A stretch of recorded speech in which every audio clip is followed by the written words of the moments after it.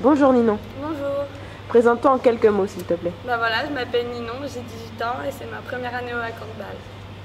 Que signifie pour toi cette saison au HAC Bah pour moi, c'est, euh, ça pourrait être un tremplin vers euh, le milieu professionnel. euh, si un jour c'est réalisable.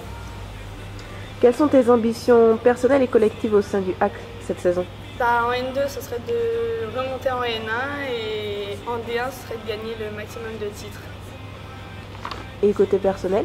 Côté personnel, bah, c'est toujours de progresser et d'évoluer pour, euh, pour apporter à l'équipe euh, dès que possible.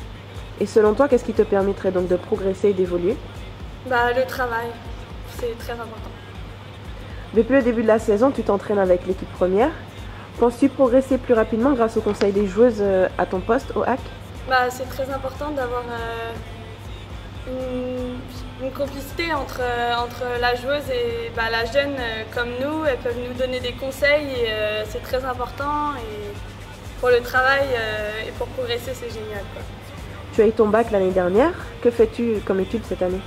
Bah, je suis en première année de licence sociologie-géographie. Pourquoi la sociologie? Pour, euh, pour plus tard faire un métier dans, dans les quartiers et dans les milieux défavorisés. Donc justement, en parlant de quartier, comment pourrais-tu t'investir selon toi pour promouvoir et développer le handball dans les quartiers de la ville ou même dans les écoles?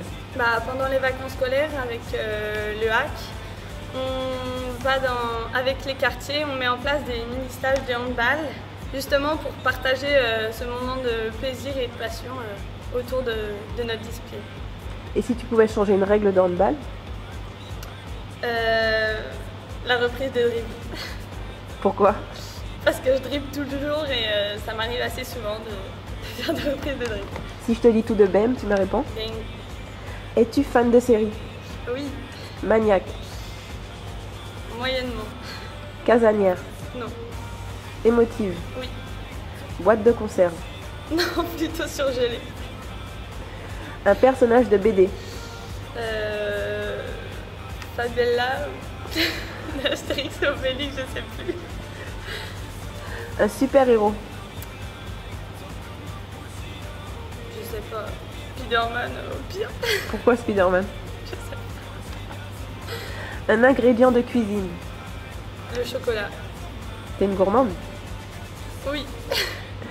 Un animal Un animal, euh, le cheval. Pourquoi Parce que euh, j'aime bien les chevaux, c'est tout. Trois mots qui te décrivent. Euh, sensible, superstitieuse et travailleuse. Merci beaucoup Ninon, à la prochaine. Merci.